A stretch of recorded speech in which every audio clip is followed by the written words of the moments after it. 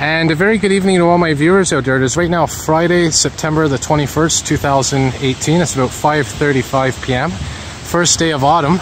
And we're under a wind warning right now. As you can see, the winds are picking up. Winds can go up to 90 kilometers per hour tonight. So that means I will be out filming. Last time we had that windstorm a few months ago, I got some pretty good footage. Hopefully I'll do the same this time. And you can see those dark skies coming in now.